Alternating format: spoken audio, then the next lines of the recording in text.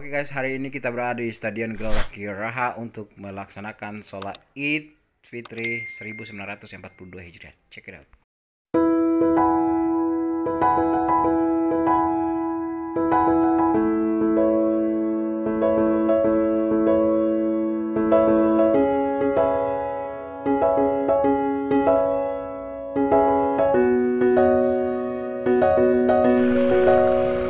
Oke.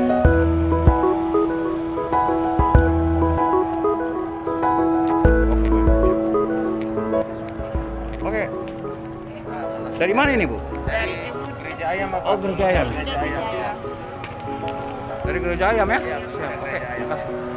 Toleransi yang luar biasa, guys.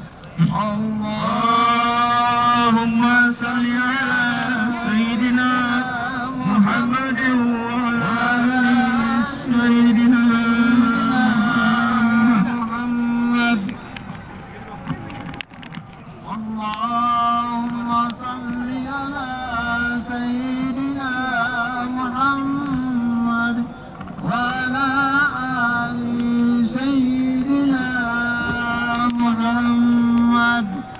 اللهم صل على سيدنا محمد وعلى آل سيدنا أكبر. الله أكبر. الله أكبر. الله أكبر. الله أكبر. الله أكبر. الله أكبر. الله أكبر. الله أكبر كبيرا. والحمد لله كثيرا. وسبحان الله بكرة وأصيلا. لا إله إلا الله. الله أكبر. Allahu Akbar walillahil Kecil rasanya kita yang duduk bersila di atas lantai ini.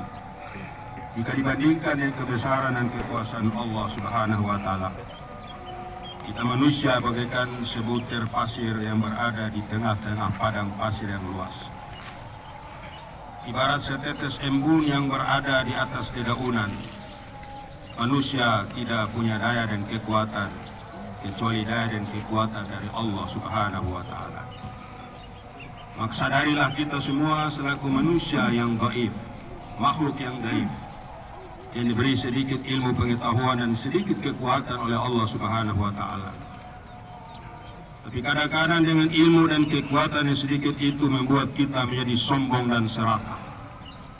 Akan tetapi, bila ilmu dan kekuatan sedikit itu kita manfaatkan yang semaksimal mungkin, akan memberikan manfaat yang sebesar-besarnya kepada umat manusia dan alam sekitarnya.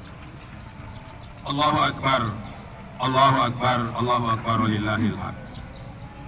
Hari raya bagi kita umat Islam bermakna penyucian diri yang bertujuan agar manusia mampu membangun kemaslahatan hidupnya.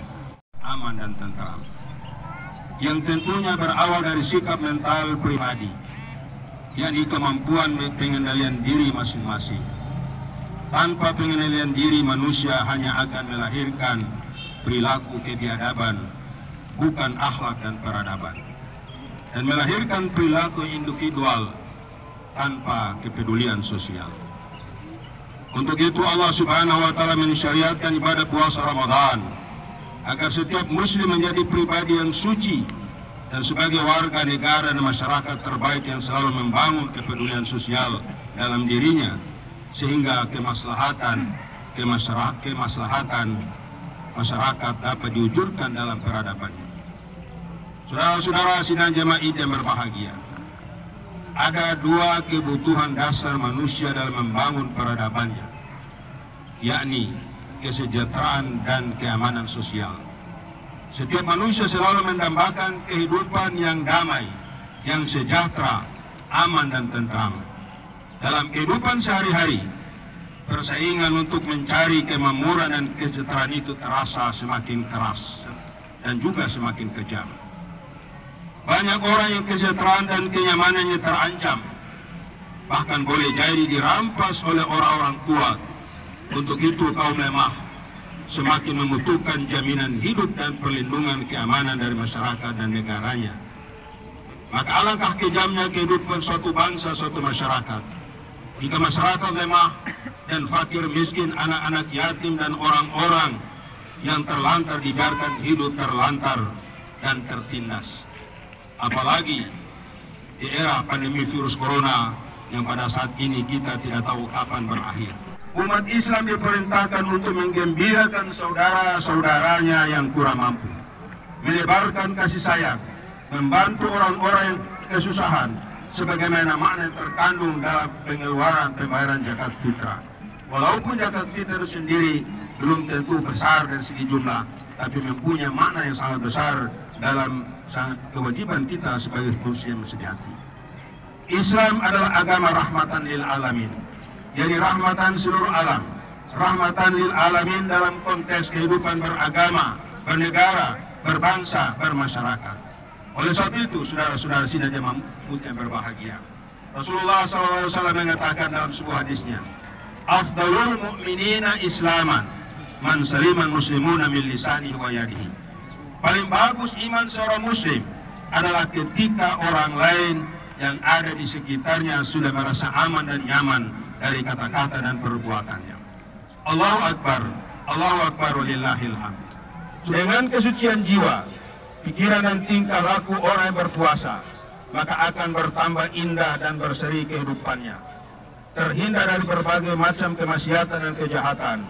Hatinya bersih, jiwanya damai, pikirannya positif dan cemerlang, rasa solidaritasnya kuat, bersikap jujur, ikhlas dan tangguh dalam menghadapi berbagai macam hal yang melanda kehidupannya.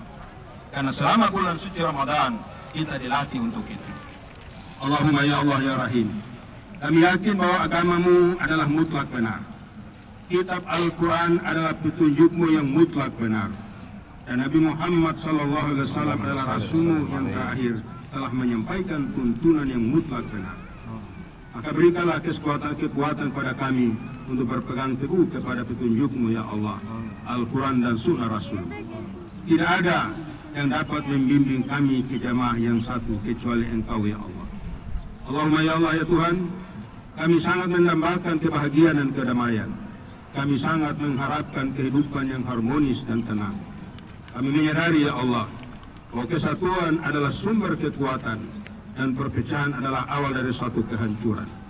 Dan tragedi itu pernah kami alami di daerah ini ya Allah ya Tuhan kami. Oleh karena itu ya Allah, persatukanlah hati hamba-hambamu ini.